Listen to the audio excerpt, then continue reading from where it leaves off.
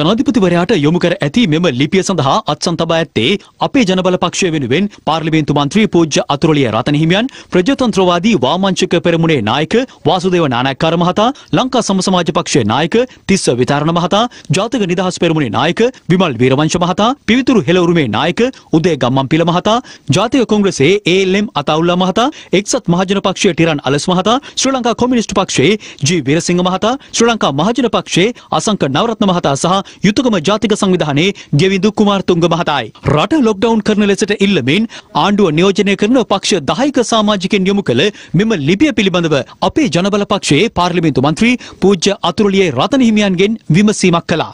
ඊයේ දිනේදී අපි ජනාධිපතිතුමාට විශේෂ ලියුමක් බාර දුන්නා. ඒ ලියුමේ කරුණු ගණනාවක් අන්තර්ගත වුණා. විශේෂයෙන්ම රටේ තත්ත්වය ඉතාමත්ම භයානක තත්ත්වයක්. මිනිස්සු මැරෙනවා, ලෙඩ වෙනවා. ඉතින් අපි ඒ නිසා මේ අවස්ථාවේ ක්ෂණිකව රට වසා දැමීමේ අවශ්‍යතාවයක් තියෙනවා. ඒ වගේම මේ ආයුර්වේදයේ මගින් මේ ලෙඩට අර ක්ෂණික ප්‍රතිකාර කරන්න පුළුවන්. ආයුර්වේදයේ තියෙන ප්‍රාථමික සෞඛ්‍ය සංරක්ෂණ විදිවල මේ මැරෙන මිනිස්සු වළක්ව ගන්න පුළුවන් කමක් තියෙනවා ඉක්මනින්ම. නැත්නම් ඔක්සිජන්ම අවශ්‍ය වෙනවා. ඔක්සිජන් නැතුව ඒක කරන්නේ ක්‍රමවේදයක් ආයුර්වේදයේ තියෙනවා. ඉතින් ඒක නිසා අපි විශේෂයෙන් මේ ගැනත් මේකේ සඳහන් කරලා තියෙනවා. ඉතින් කරුණු ගණනාවකින් යුක්ත ලියුමක් ජනාධිපතිතුමාට අපි බාර දුන්නා.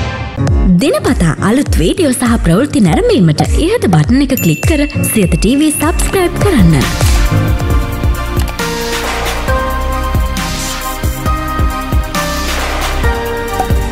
අලුත් වීඩියෝ ගැන මුලින්ම දැනගන්න මෙම සීනුව කලික් කරන්න.